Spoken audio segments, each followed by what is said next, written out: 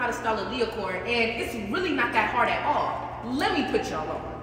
This right here is just two pairs of fishnets that I cut and made into a top. This right here is just two belts. This is a chain belt and a regular belt. And don't forget to add a charm.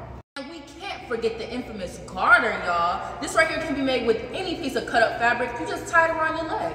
And the only thing better than fishnets on two legs is fishnets on one leg. Yup. And you know I gotta have my earmuffs, and we cannot forget the fur.